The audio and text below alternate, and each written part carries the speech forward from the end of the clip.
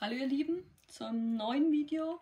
Und zwar durch euch jetzt das letzte Buch der Zelda ja, Reihe beziehungsweise zu den drei Zelda Büchern vorstellen. Wir sind jetzt bei den Zorvas, deswegen ist das Buch in Blau. Hier dann quasi auch nochmal das Triforce mit Mut, Weisheit und Kraft. Äh, Zelda, Link und Ganondorf. Und es ist natürlich die Zelda Enzyklopädie. Die ist jetzt auch in Deutsch, erkennt man am Tokyo Pop Logo. Und das könnt ihr euch jetzt wie ein Zelda-Lexikon vorstellen. Also hier ist dann wirklich alles bis ins kleinste Detail erklärt, wer das gern haben möchte. Da ist es auch wieder so, wenn ihr euch nicht spoilern lassen wollt, ähm, schaut das Video nicht an, beendet es hier. Alle anderen schauen sich gerne das Video an und ja, habt viel Spaß dabei. Hier ist nochmal ein schönes Artwork. Und zwar ist hier quasi die Welt von The Legend of Zelda aufgemalt. Genau. Ein sehr schönes Artwork mit hier dem Schloss Hyrule. Hier auch nochmal ein schönes Artwork vom Master Schwert und dem Schild. Und das kam jetzt das Buch 2019 raus. Wie gesagt, das ist die deutsche Ausgabe. Hier auch nochmal aus dem Japanischen übersetzt ins Deutsche von den Leuten. Hier ist dann quasi auch nochmal alles schön aufgelistet. Und ganz am Anfang hier zum Beispiel die ganzen Zelda-Spiele. Spiele, bis natürlich zu Twilight Princess HD.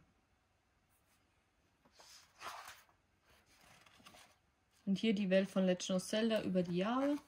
Wie gesagt, hier steht sehr viel drin, deswegen habe ich es mir in Deutsch gekauft.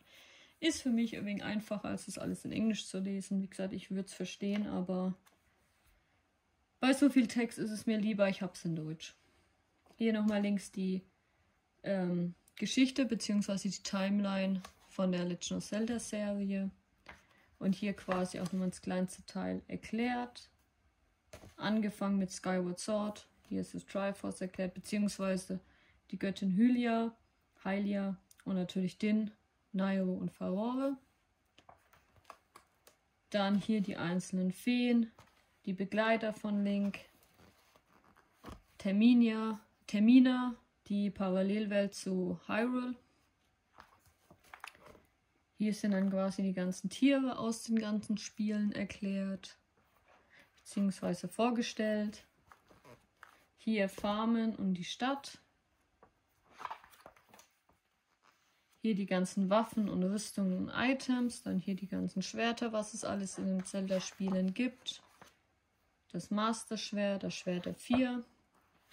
Dann die ganzen anderen weiteren Items, die man in den Zelda-Spielen ähm, ja, sammeln konnte oder sammeln musste. Hier dann quasi jetzt explizit mit dem Stahlfosskrieger erklärt, wie die Stahlfosskrieger in den verschiedenen Spielen aussehen, warum sie so aussehen. Und hier ein kleiner Spoiler, ähm, dass bis dato viele geahnt haben, aber noch nicht bestätigt wurde. Wer sich jetzt nicht spoilern lassen will, macht hier das Video aus. Alle anderen hier ist der Held der Zeit aus Ocarina of Time. Und zwar steht hier dabei, selbst ein legendärer Held wird nach seinem Tod zu einem Skelett. Seine Seele behält jedoch ihre Schönheit und Reinheit und erwacht in Form eines goldenen Wolfes. Zu sehen quasi in Twilight Princess. Das ist quasi der Stahlfoss, der uns die ganzen ja, Attacken beibringt in Twilight Princess. Wie gesagt, bis dato wurde es noch nicht bestätigt von Nintendo.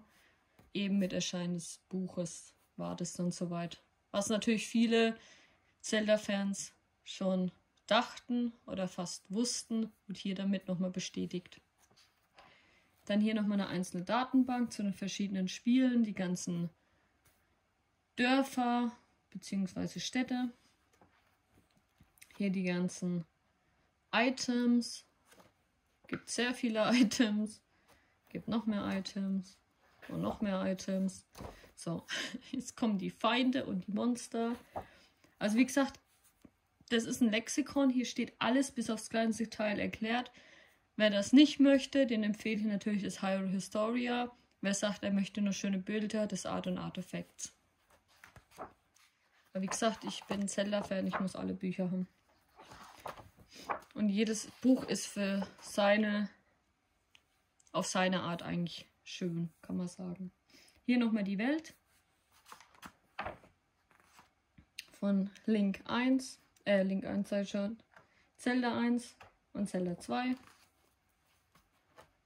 Hier dann auch noch, ein paar Konzeptzeichnungen. Hier natürlich die Welt von Link's Awakening.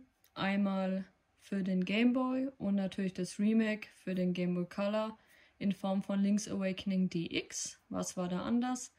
Link's Awakening DX für den Game Boy Color, wie der Name schon sagt, ist quasi dann einfach nur eine quasi das Spiel in Farbe. Hier war aber ein Remake. Und ja, Nintendo quasi hat schon immer mal Remakes gebracht, wie ihr seht. Hier dann quasi nochmal ähm, Link's Awakening, die ganzen Charaktere, die Beziehungen, welcher Charakter mit wem in Verbindung steht, in Form von Freunde, Haustiere, Verwandtschaft, Bekanntschaft, Chef. Ja, sozusagen könnt ihr euch alles nochmal anschauen. Hier natürlich Majora's Mask erklärt, die Handlung. Dann natürlich auch Majora's Mask für den N64 und für den 3DS. Also einmal das Originalspiel und das Remake. Und hier auch nochmal die ganzen einzelnen Charaktere erklärt und wie die zueinander stehen sozusagen. Geht natürlich mit jedem Zelda-Spiel so weiter. Wie gesagt, ich möchte euch jetzt nicht zu viel spoilern, deswegen tue ich so viel davor blättern. Hier natürlich mit A Link Between Worlds, quasi das Remake von A Link to the Past. Und natürlich auch hier jetzt nochmal die Spin-offs erklärt, was in den anderen Büchern jetzt noch nicht so richtig zur Sprache kam. Hier natürlich mit ähm, das erste Spin-off ist auf dem Game Watch, das Zelda-Spiel. Dann natürlich die Master Quest-Reihe, Link's Crossbow Training, Four Swords und äh, Zelda Twilight Princess Picross. Dann hier natürlich in der Smash-Reihe hat natürlich Link, Zelda, Ganon, Sheik alle auch einen Auftritt. In Soul Calibur war ja natürlich auch Link dabei. Sonic Lost, Lost Worlds gab es natürlich auch einen Skin, dass quasi eben Sonic sich als Link verkleiden konnte und durch die durch Hyrule, durch verschiedene Welten laufen konnte. Dann natürlich Mario Kart 8. Sind sie natürlich auch mit dabei.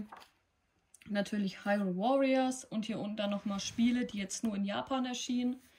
Mit Tingles Royalty Rupee Land, äh, Tingles Balloon Trip of Love und Tingles Balloon Fight und den Too Much Tingle Pack. Wie gesagt, gab es bei uns nicht, gibt es nur in Japan.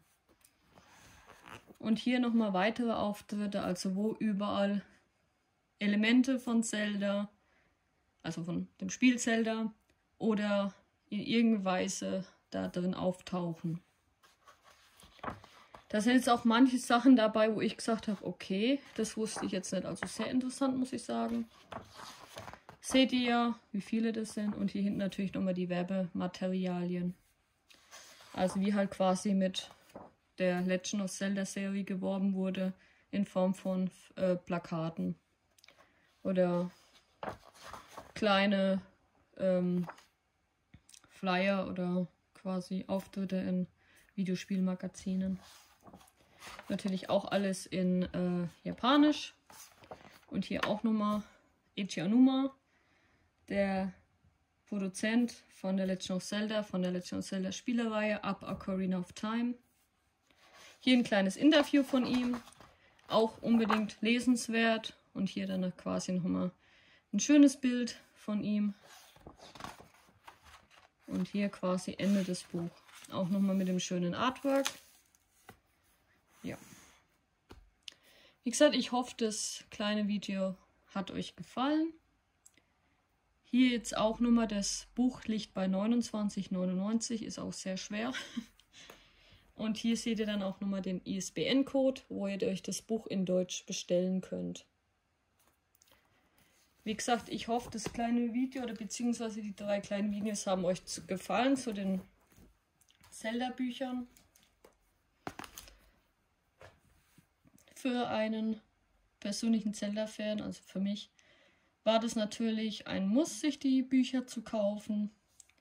Wer die Bücher noch nicht hat oder beziehungsweise nur eins von den dreien oder nur zwei und sich überlegt, das letzte, das zweite, das erste auch zu kaufen.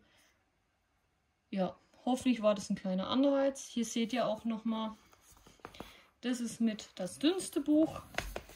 Das ist wieder etwas dicker. Ich mache das jetzt mal so, dass es genau einen Unterschied hat. Und das Art und Artifacts ist quasi das dickste Buch und das schwerste. Dass ihr dann quasi auch nochmal die Unterschiede seht. Was ich persönlich auch genial finde, ist quasi in den drei Farben gemacht. Für die Kokiris, den Zorvas und den Goronen zum Beispiel. Oder kann man auch damit sagen, äh, Wald, Wasser und Feuer. Ja, ähm, ein Abo, ein kleiner Kommentar oder ein Like ist natürlich gern gesehen, freut mich auf jeden Fall. Und ja, dann wünsche ich euch noch einen schönen Tag, schönen Abend. Und das war's von mir. Wir sehen uns im nächsten Video.